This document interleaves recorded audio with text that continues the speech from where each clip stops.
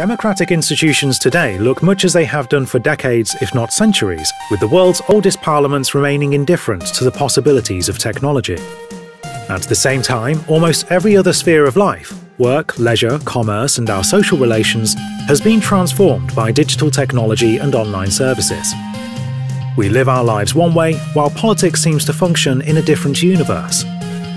Political systems seem remote from our lives, they seldom seem to respond to us or belong to us.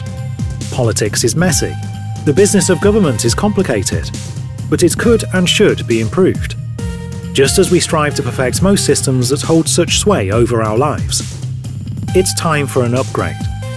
The coronavirus pandemic has exposed the failings of neoliberal states. Economic, health, and racial injustice is now so apparent it is beyond ideological argument the current system of representative democracy in the UK has failed.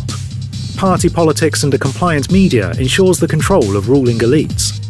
No matter who you vote for, nothing ever changes. But change is possible. There is an alternative. Not another failed ideology from the past, but a bold vision of the future.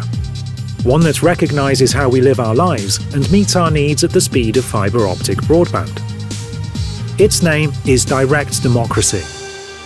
It is an egalitarian method powering a worldwide movement towards true autonomy. Direct democracy is not purely theoretical. A form of direct democracy has been the system of government in Switzerland for many decades, where citizens can exercise their democratic rights regularly, not just at general elections. In the UK, direct democracy can exist above the fray of the bitter ideological divides of the preceding centuries. As technological innovations and social movements continue to advance the prosperity of ordinary citizens, direct democracy will step up to lead a peaceful movement towards self-rule in the United Kingdom. Direct Democracy UK is a technology project as much as it is a decentralised, post-ideological movement. It will provide voters with technology that will maximise enfranchisement and allow them to register their democratic choices quickly and easily.